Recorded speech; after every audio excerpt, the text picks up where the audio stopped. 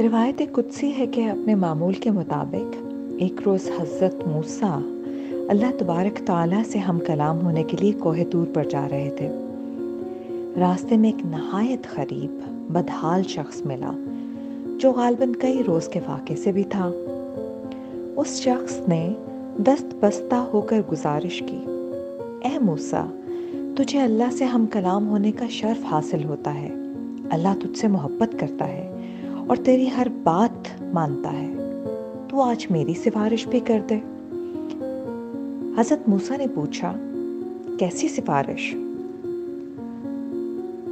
उस शख्स ने कहा, अल्लाह से कह कि मुझे रोज रोज तरसा तरसा कर देने के बजाय मेरी सारी ज़िंदगी का रिस्क एक ही बार दे दे।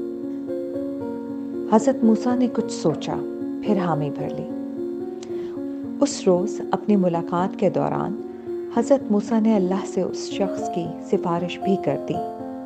अल्लाह ने कौन भी कह दिया। अगले रोज़ हज़रत मूसा का फिर वहाँ से गुज़र हुआ तो देखा उस शख्स के घर पर लोगों का हजूम था। लोग खा रहे थे, पी रहे थे, खुश थे। हज़रत मूसा ने उस शख्स से वजह पूछी तो वह कहने लगा, आपकी दुआ कबूल हो गई। मुझे मेरी सारी ज़िंदगी का रिस्क एक ही बार मिल गया। जब जेब भरी तो मुझे अपने अरीब करीब और भी बहुत से गुरबा और फुकरा नज़र आए।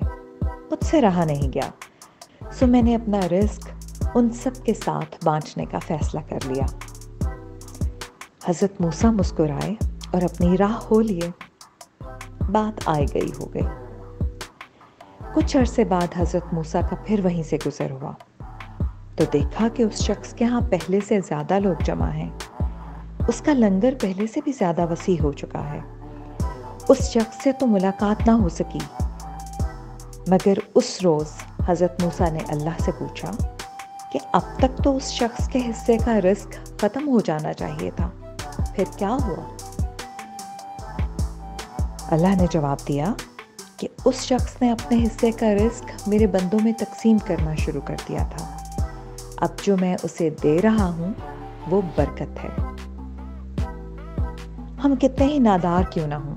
हमारे पास अपनी ज़रूरत से ज़्यादा हमेशा होता है। वो अगर पैसा ना हो, अनाज ना हो, लिबास ना हो तो वो खुशी हो सकती है, मदद हो सकती है, ढारस हो सकती है। अपनी कुल कायनात का जायज़ा लें। फिर उसमें से जो भी फिल वक्त आपकी ज़रूरत से ज़्यादा है, उसे मुस्तकिन तक पहुँचा दें। पहले घर वालों से शुरू करें। उसके बाद अपने अड़ोस पड़ोस देखें। उसके बाद रिश्तेदारों में तलाश करें। फिर कहीं जाकर अनजान मुस्तकिन की बारी आती है। रमज़ान हो या ईद हर कोई अनजाने में सिर्फ़ उन ही पेशावर गदागरों का पेट भरता है जो हाथ फैलाए नज़र आ जाएँ, जबकि पहला हक तो उन सफ़ेद पोशों का है जो मारे शर्म के किसी से अपनी ज़रूरत बयान भी नहीं करते। यूँ नेकी बर्बाद और गुनाह लाजिम हो जाता है। ये सोच कर दौलत जमा करना कि जाने कल क्या हो अल्लाह पर तवक्ल ना होने की एक निशानी है जिसने आज दिया है क्या वो कल को नहीं देगा? ये भी हो सकता है कि कल वो सब छीन ले।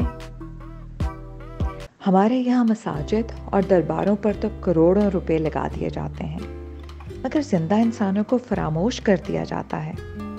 यही वजह है फिर लोग चोरी, चकारी धोखाधही और लूट मार पर उतर आते हैं। इंसानियत इमारत से ज़्यादा अहम है। अल्लाह का वादा है कि उसकी राह में दिए एक दरहम को वो सत्तर गुना करके वापस करेगा। अल्लाह के वादे पर ईमान है तो आज ही अपनी कमाई का दस फ़ीसद हल्के खुदा की बहबूद के लिए वक्फ कर दीजिए। उसके बाद अपने रिस्क को बढ़ते देखिए। गालिबन हज़रत अली का कॉल है, किसी का तुमसे अपनी ज़रूरतों को वाबस्ता कर लेना भी अल्लाह की नेमतों में से एक है। अल्लाह सुबहान ताला बेनियाज है। चाहे तो सिर्फ़ दुआओं से भी किस्मत बदल सकता है। मगर सिर्फ़ दुआओं पर इक्तफा करने वाले कुछ लोगों का हाल ऐसा भी हो जाता है, जैसा उस इबादत गुजार शख्स का हुआ, जो बरसों अल्लाह के सामने गिड़गिड़ाता रहा। ए अल्लाह, मेरी लॉटरी निकाल दे, मुझे बेहिसाब दौलत दे। जब कई हफ्तों तक कुछ ना हुआ तो वो शख्स गुस्से से कहने लगा, अल्लाह, मैं तेरा इतना फर्मा बरदार हूँ, इतना इतात गुजार हूँ। आज तक तुझसे सिर्फ़ लॉटरी जीतने में मदद मांगी। वो तो कर दे। लम्हे भर बाद, बादल गरजे और अल्लाह का जवाब आया, ए आदम, कम अज कम लॉटरी का टिकट तो खरीद ले।